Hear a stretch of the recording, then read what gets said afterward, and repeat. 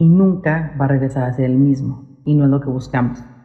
Nuestro cuerpo ya cambió y nosotras ya cambiamos. Sin duda alguna, la primera semana de octubre vino con todo en cuanto a chismes de la farándula se refiere, desde lamentables fallecimientos hasta posibles embarazos que han dado mucho de qué hablar.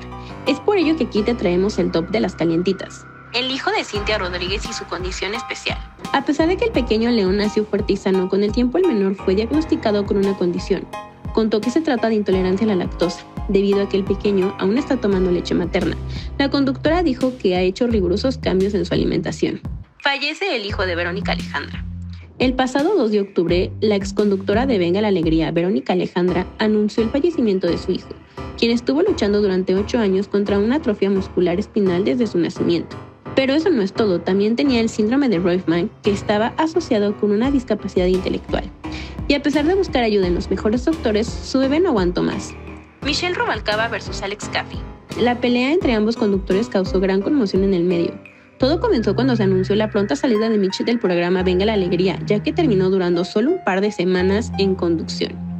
Fue ahí cuando Caffey ventó a su colega asegurando que su despido había sido porque habló peste de la periodista Patti Chapoy y de la cantante Gloria Trevi.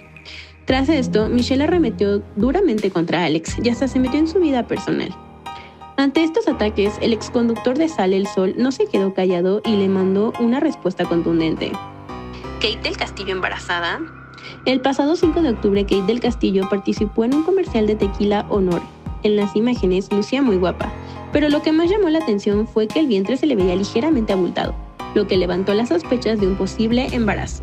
Pero ante esta polémica, la actriz no ha dicho nada. ¿Cristian Nodal revela el nombre de su bebé?